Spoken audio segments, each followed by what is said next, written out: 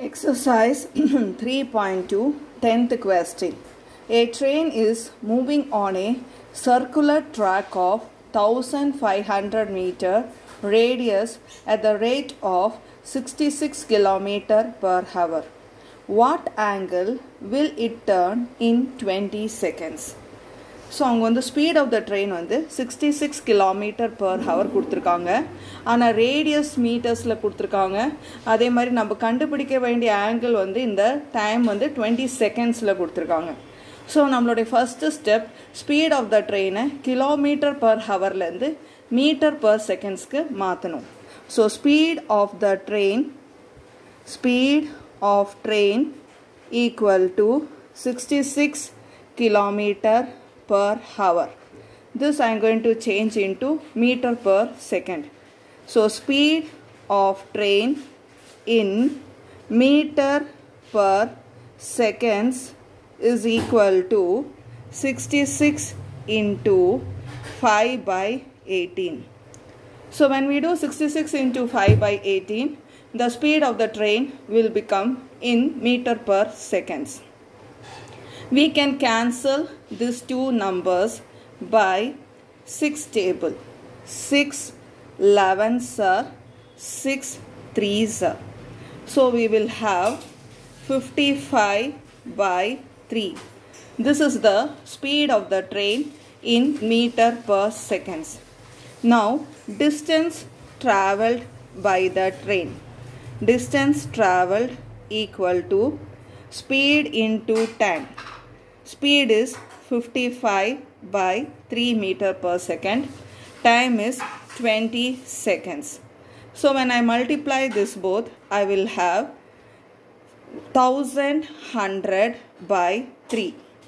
இந்த distance travelled தான் நம்ம அந்த சர்க்குலர் செக்டாரில் எஸ்ன்னு சொல்கிறோம் so this S is only the distance travelled so actually S is equal to 1100 by 3.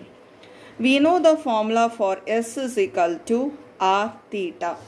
They are asking you to find out this theta. So 1100 by 3 equal to the radius of the track is 1500 meters. So 1500 into theta. Let me bring this 1500 to the other side.